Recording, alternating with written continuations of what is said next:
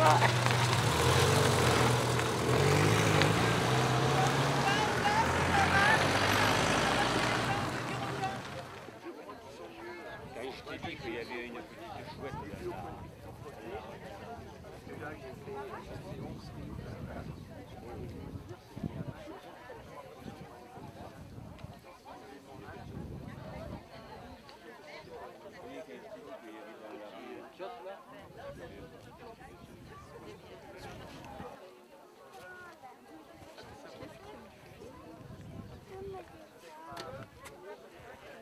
un peu partout sur le territoire, déjà Languedoc-Roussillon, si on pouvait travailler en Languedoc, euh, puisse récupérer dans les meilleurs temps les oiseaux, les animaux qui sont sauvages, qui jusqu'à présent ne, ne bénéficiaient d'aucune médecine de qualité, euh, aucun soin, puisqu'ils ne payent pas.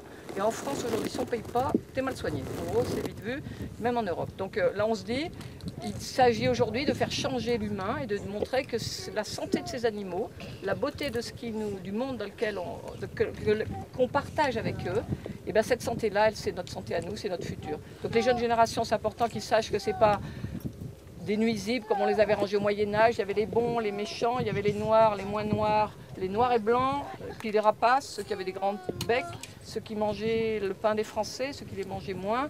On avait un peu rangé, c'était notre manière à nous de ranger la, faune. Et là, comme vétérinaire, et je pense qu'on va être deux à parler, ou en tous les cas d'avoir le sentiment, euh, vétérinaire, on est vétérinaire pour la vie, pour nous l'animal, ça nous, donne, la chance, nous singes, nous, humains, de s'ouvrir vers d'autres possibles qu'on n'aurait jamais pensé. Donc là, on va sortir d'abord des éperviers qui sont les plus petits, qui sont hy- hyper stressés.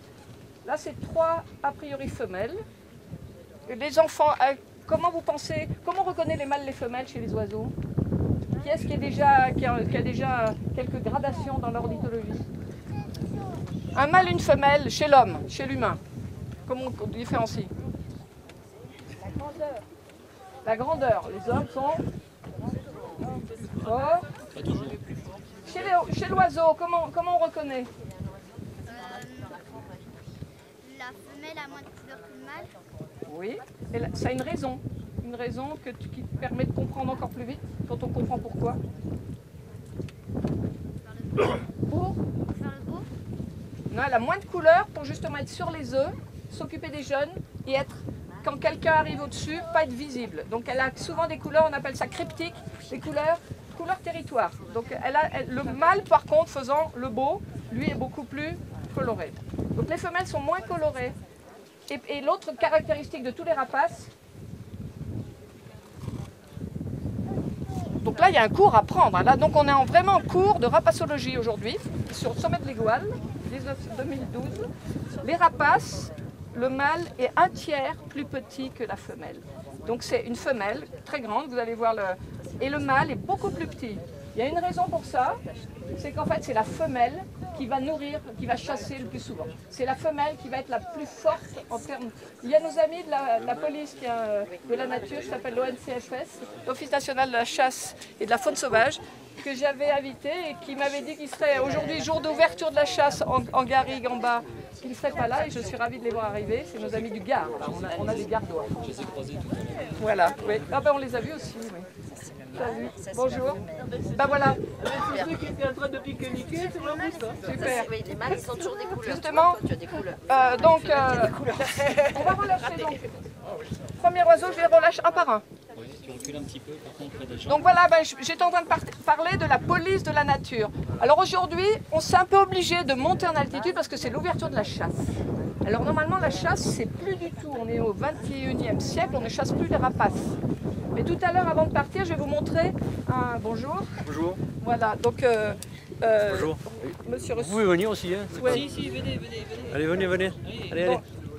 Donc là, là c'est important de savoir que, effectivement, longtemps on a opposé les protecteurs de la nature avec les chasseurs.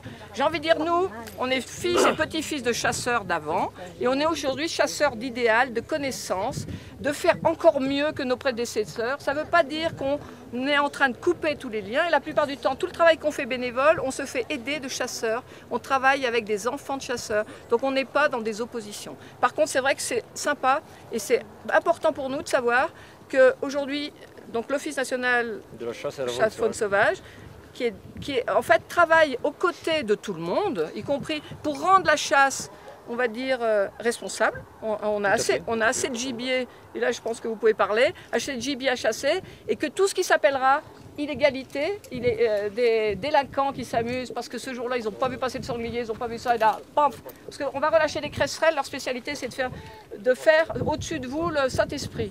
Qu'est-ce que c'est facile de tirer un oiseau? Ça fait 200 grammes, on, on balance 15 grammes de plomb, c'est explosé en 3 secondes. Alors c'est vrai que le travail qu'on aime faire aujourd'hui, c'est de sensibiliser le public et puis travailler de par- en partenariat avec... euh, voilà, donc euh, vous pouvez dire... euh, Oui, dire quelques mots. Juste, juste que, que l'ONC, depuis l'Office national de la chasse et la faune sauvage, depuis de nombreuses années, euh, sensibilise les, les chasseurs. Euh, il sensibilise les chasseurs à travers l'examen du permis de chasser. Et c'est un outil, un outil remarquable qui, qui permet de, notamment de sensibiliser les, les jeunes, euh, les jeunes permis, les jeunes qui sont intéressés par la chasse. Euh, leur expliquer que tous ces oiseaux font partie de, de la chaîne alimentaire et, et si, on, si ces oiseaux sont détruits, euh, on perturbe toute la chaîne alimentaire et de, de fait, euh, on perturbe aussi la- euh, toute l'écologie. Voilà. alors. Voilà, un épervier. Ici, alors Accipiter nisus, toujours intéressant. Je vais vite le lâcher. C'est une femelle. Et les trois qui sont arrivés ont été trouvés en bord de route ou se sont trouvés euh, tapés. Ce sont des chasseurs d'oiseaux. Regardez les pattes. Vous, différencierez les pattes de tout à l'heure des autres oiseaux. C'est un rapace. C'est le mot bec crochu. C'est un petit rapace. Tous donc protégés depuis 1972. Donc ça fait 40 ans, si je ne me trompe pas. Et, leurs pattes sont des typiques ornithophages, chasseurs d'autres oiseaux. Et hirondelles, quoi, ils vont chasser. Et ça permet, comme disait euh, voilà, Bruno, de, de dire que ça va manger d'autres oiseaux. Toute la chaîne alimentaire, c'est important. Et toutes elles ont été trouvées, soit tapées en bord de route, soit tapées sur des baies vitrées. Il y en a beaucoup qui meurent, ça explose sur la baie vitrée parce qu'ils chassent, ils chassent les oiseaux. Et là, elle est en train de regarder le territoire. On va juste la laisser, je pense qu'elle va partir côté vent, hein, puisque... Voilà. Alors, ça c'était un épervier.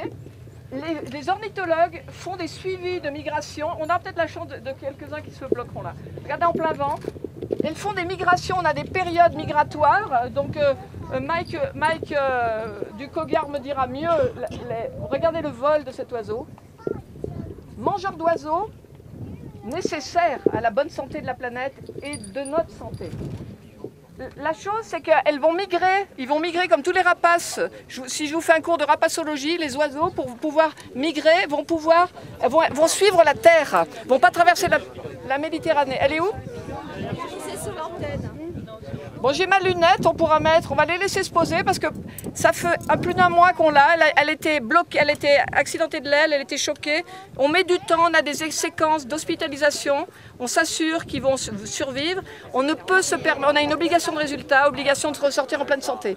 Donc là, elle va repartir. Savoir que ce sont des oiseaux qui migrent, qui peuvent aller en Afrique et qu'au Cap Bon, en Tunisie, j'ai un ami veto euh, qui est en train de faire un film sur la migration des, éperviers où les, Tunisiens attrapent au filet les éperviers, les créances comme les anciens fauconniers, les obligent à chasser avec un fil pour chasser la caille. Je ne sais pas pour vous dire dans quel monde on est. Nous, on lâche un oiseau libre comme le vent, heureux comme tous de vivre libre. Il va pouvoir sûrement faire sa migration africaine et il se peut donc euh, qu'il soit retrouvé autrement. Donc là, on en a trois relâchés. Est-ce que Marc, tu en veux un Allez.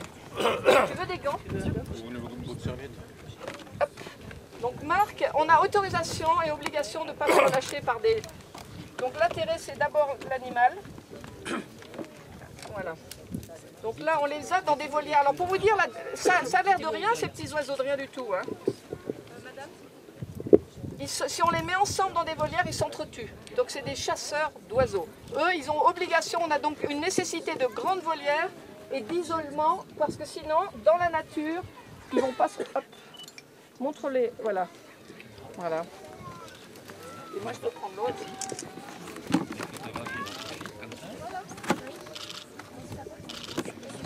Celui-là, c'est peut-être le mâle. Tu montres Certainement. Re- Regardez la taille, certainement plus petit. Mais ça, c'est Marc qui est veto et qui fait partie de la, euh, qui travaille à pas loin de, Villeverac. Donc, euh, donc hop, là celui-là c'est le mâle en question. Ouais, regardez la taille, jeune mâle. Donc regardez des tailles différentes. Tout à l'heure vous aviez une femelle et là je pense que c'est une grande femelle. Ça n'empêche que pour l'instant ce sont des gamins comme vous les enfants. Bonjour les- la famille. Et euh, ils ont encore leur plumage de juvénile. Ok, je vais le relâcher.